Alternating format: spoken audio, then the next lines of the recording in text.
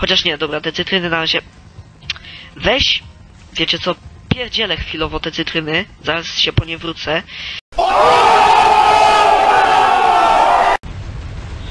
Aha, chyba teraz się...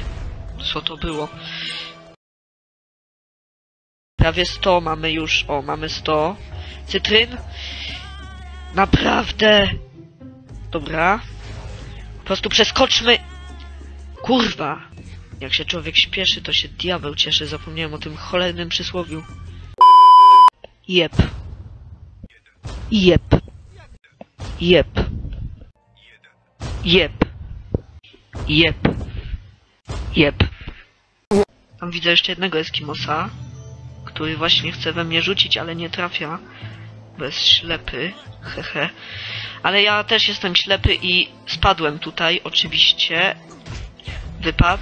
Też się walłem tutaj. Idziemy tutaj dookoła, kurde. Słyszę głupią małpę, no co? Ja pierdzielę. Dobra, jestem ludzie. Trochę się wkurzyłem już teraz przez to zginięcie. Mamy tu przycisk. I teraz taką jedną cytrynę bym pominął. Ej, bo mam takie wątpliwości małe. Ej. Ej, ej, ej, ej. Ja żartowałem.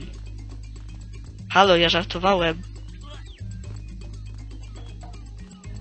Ja żartowałem. Nie, ludzie, nie gadajcie.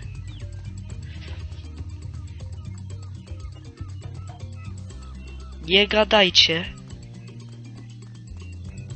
Ja pierdzielę. Znowu pominąłem jedną cytrynę? Ja pierdzielę, no nie gadajcie. Jeden. I nie gadajcie. Nie, no nie gadajcie, ludzie. Nasz Hugo tutaj jest jak, jak pijak się zachowuje. Mamy nowych przeciwników.